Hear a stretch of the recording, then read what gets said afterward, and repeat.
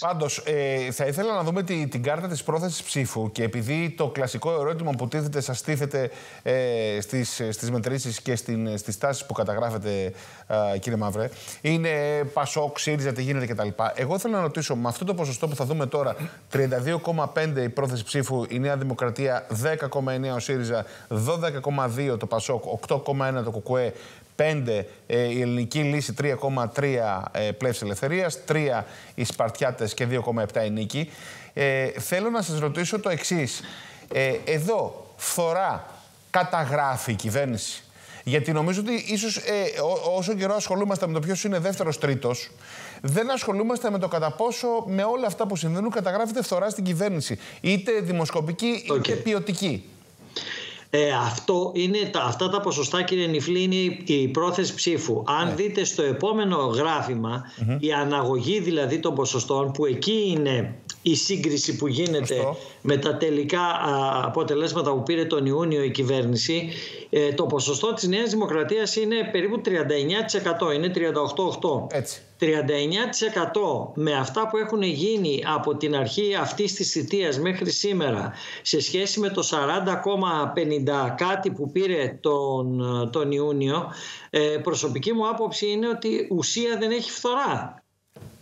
Πάντως, αν προσθέσει κανείς τα ποσοστά όλων των αριστερών και κεντροαριστερών κομμάτων, εξαιρώ το ΚΚΕ, δεν φτάνουν το ποσοστό της Νέας Δημοκρατίας. Μα αυτό ρωτώ, Γιώργο. Yeah, γιατί φυσικά. είναι, νομίζω. Ε, Όπως επίσης. Αν πάμε πάλι στο γράφημα. Αυτό. Όχι, ναι. είμαστε εδώ, στο 38-8 ναι, με ναι, την ναι. αναγωγή. Ναι. Και δείτε, σε σχέση με τα ποσοστά που πήραν τα αριστερά κόμματα ε, στις εκλογές του Ιουνίου και αθροίσει τη διαφοροποίηση γιατί όλα είναι ανεβασμένα αν, αυξήσει, αν αθροίσει λοιπόν το πώς ανέβηκε το κουκουέ η πλεύση ελευθερίας ε, που είναι το ποσοστό ε, της έστω και αυτό το λίγο της μέρας 25 κλπ κλπ κλπ ε, τότε μαζί με την άνοδο του Πασόκ αυτά τα ποσοστά κάνουν το ποσοστό που λείπει από το 13 του ΣΥΡΙΖΑ μέχρι το 17. Ναι.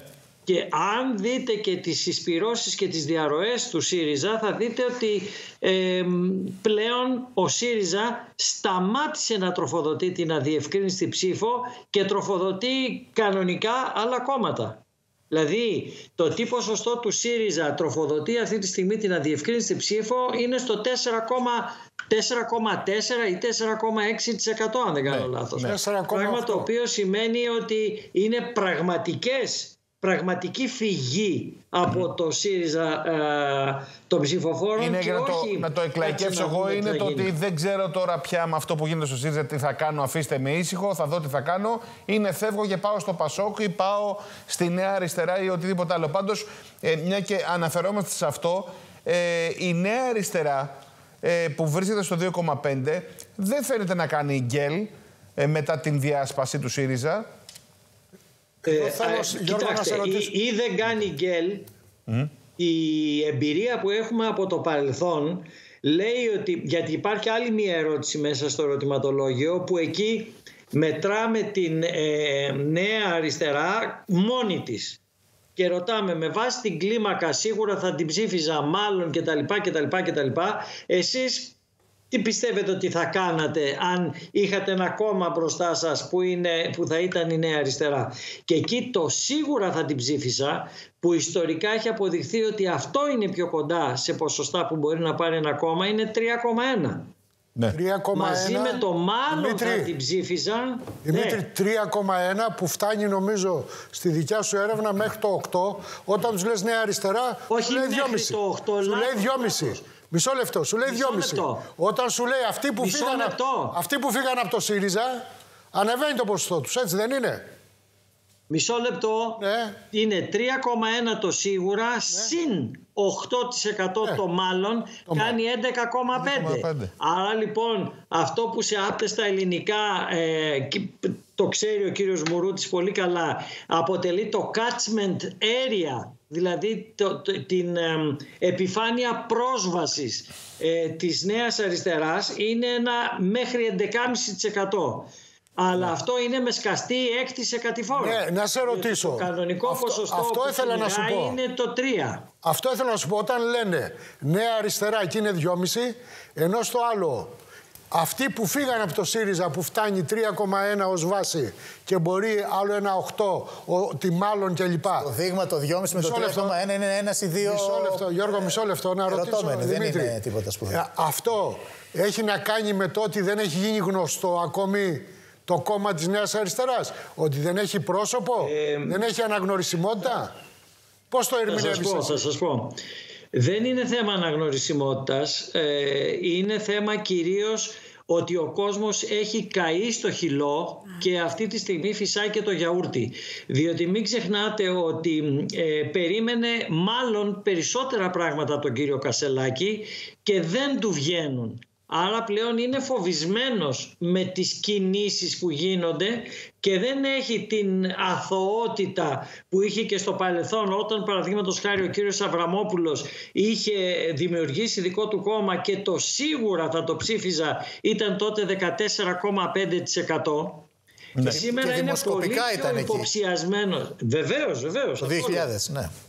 Ε, Ακριβώς. Ε, δεν λέω για τον Κασελάκη, λέω για τους άλλους. Ναι. Για το Χαρίτσι. Για τους άλλους λέω. Και τελικά, και τελικά αυτό το κόμμα που ξεκίνησε. Επειδή δεν τους βγήκε. Δεν κατέβηκε σε εκλογές. Δεν έφτασε έτσι όπως τον περίμεναν. Ναι. Έχει αθρηστεί τώρα η καχυποψία και για Εγώ να ρωτήσω πριν, πριν, πριν απαντήσετε και στα υπόλοιπα ερωτήματα και προχωρήσουμε και στις υπόλοιπες κάρτες. Η περίοδος Κασελάκη, η περίοδος Χάριτος στον Κασελάκη έχει ολοκληρωθεί, έχει κλείσει αυτό που λέγαμε περιμένουμε να τον δούμε τον Κασελάκη. Όχι. Ναι, ναι. Θα σας πω ότι η περίπτωση του κυρίου Κασελάκη επειδή είναι ένας ιδιόμορφος είναι βραδιφλεγής. Μάλιστα. Πράγμα το οποίο σημαίνει ότι εγώ θα ήμουν ε, υπομονετικός για να δω προς τα που θα το πάει το πράγμα. Ναι. Μπορεί και να συνεχίσει τη γραμμική πτώση και να δούμε τρελά πράγματα. Έτσι. Ναι. Ήδη υπήρξε μια δημοσκόπηση που έδειξε το ΣΥΡΙΖΑ μονοψήφιο. Ναι. Έτσι. Ε, και κάποια, κάποιας, κάποια άλλη η οποία τον έδειξε πάνω από το Πασόκ πάλι. Ναι αλλά ε, βλέπετε ότι δημιουργείται λόξιγκας γύρω από το ΣΥΡΙΖΑ και τον κύριο Κασελάκη αυτή τη στιγμή. Αυτή τη στιγμή το πρόβλημα του ΣΥΡΙΖΑ είναι ο ΣΥΡΙΖΑ ή ο Κασελάκης; Ή το ερώτημα. Ε, αυτή, είναι και τα δύο, ε, Γιώργο. Είναι και τα δύο, γιατί ο Μεν ΣΥΡΙΖΑ είχε εξαντλήσει αυτό που μπορούσε να προσφέρει πριν τις εκλογές του Μαΐου-Ιουνίου, δηλαδή φαινόταν ότι δεν πήγαινε το πράγμα ήδη και τώρα έχει προσθεθεί από πάνω και μια αγωνία το τι μπορεί και τι δεν μπορεί να δώσει ο νέος αρχηγός του. Άρα λοιπόν είναι ένα αλγευρικό άθεσμα που δεν τον βοηθάει. Ναι. Θέλω να ρωτήσω κάτι Μάλιστα, άλλο. Θέλω να μου, επιτρέπεις, μου επιτρέπεις να ρωτήσω κάτι. Ναι, Γιώργο. Ενώ βλέπουμε ότι στην αριστερά έχουν συντερεστεί ας πούμε οβιδιακές μεταβολές. Δηλαδή δημιουργούνται κόμματα, αυτό κτλ. Το Πασόκ το βλέπω σε ένα ποσοστό έχει περάσει με δεύτερο με βάση πολλές μετρήσεις και αυτή. Μόνο σε μία, αν δεν με απατάει η μίμη μου, ήταν ξανά ε, τρίτο. Πώς, πώς, πώς το βλέπεις το Πασόκ, αυτό, αυτό θέλω να σε ρωτήσω. Θα, θα σας πω. Ε, και έχω εντοπίσει με ρομποτικό τρόπο το πού είναι το σημείο που νοσεί το Πασόκ. Εκτός όπου και να το μετράμε το Πασόκ είτε μέσω του καταλληλότερου πρωθυπουργού για τον κύριο Ανδρουλάκη είτε στο τι μπορεί να λύσει και τι δεν μπορεί να λύσει και τα λοιπά και τα λοιπά είναι πάντα δεύτερο. Ναι. Όμως έχουμε βάλει δύο πονηρές ερωτήσεις οι οποίες έχουν διεθνή καταγωγή που λένε το εξής ε, για τους αρχηγούς εάν έπρεπε να φύγετε και έπρεπε να αφήσετε σε κάποιον από τους τρεις Μητσοτάκη, Κασελάκη και Ανδρουλάκη τα κλειδιά του σπιτιού σας, σε ποιον θα τα αφήνατε που μετράει ουσιαστικά το ηθικό απόθεμα ναι, ναι. του κάθε αρχηγού και εκεί μάλλον και, στις, και, και υπάρχει άλλη μια ερώτηση η οποία λέει και αν είχατε μια επιχείρηση ποιον θα προσλαμβάνατε για γενικό διευθυντή; Και στις δύο αυτές ερωτήσεις ο κύριος Μητσοτάκης προηγείται. Προηγείται πολύ. Εντάξει, το αφήνω στην άκρη αυτό γιατί δεν μας λέει και πολλά. Ανάμεσα στους άλλους δύο, στη, στα μεν κλειδιά που σημαίνει του σπιτιού, που σημαίνει στα ethical θέματα προηγείται ο κύριος Ανδρουλάκης, στη Γενική Διεύθυνση Επιχείρησης όμως προηγείται ο κύριος Κασελάκης. Ναι, γιατί έχει την, εμπει...